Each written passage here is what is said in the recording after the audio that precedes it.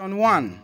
The diagram below illustrates the trajectory of a fired missile from point P at 250 meter per second. If the missile hits point Q after 40 seconds, calculate the line PQ. Solution. I'm going to divide this into two. Divide this into two. Now, first, we are given, let's list out what we are given. Given, we are given that uh, the time of flight, let's state that, we are given the time, the time of flight.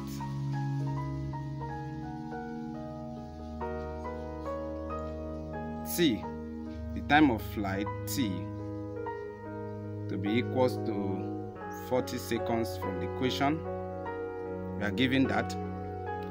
Now, we are also given, there is an angle here, theta, given to us. We are given that theta is equals to 42 degrees. We are given that.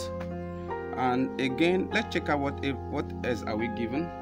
Okay, we are given that, uh, we are given a velocity here, 250 meter per second we are given a velocity 250 meter per second. We are given this as well. Now we are asked to calculate uh, this line pq that is if it's fired from the point where it is fired to where it drops.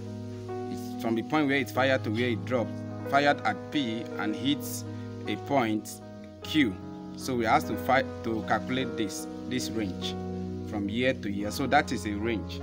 So we can say that uh, line pq is equals to the range of this uh, a projectile uh, motion here of range r. So we can say that comfortably and it will uh, go with whatever we are going to do now. Now from this we know that our range okay let me use let me take it up here. Let me write it a bit higher. We know that our range r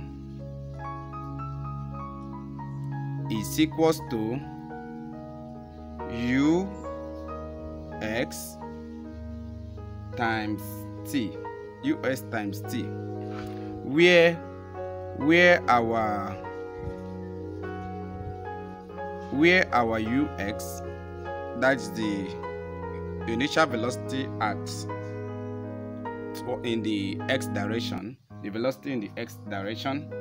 And this is equals to u cos theta u cos theta. So if you did the projectile very well you must have come across this. So and this is what we are having. Now we can now say that therefore since our ux is equals to u cos theta our range r which is also equals to this line pq is equals to u cos theta times t times t. So if we have that we can go ahead and substitute the values that this is equals to our u was given to us as 250 so that is 250 times our cos theta. Our theta is 42 degrees. So i'm going to take that 42 times our time we are looking at is 40 seconds. We were given from the equation 40 seconds. So we go ahead with this. Now by the time you multiply 250 times cos 42 degrees times 40 you have approximately to two decimal place 740 okay 7431 uh, 4 5 so you are going to have this 4 5 meter.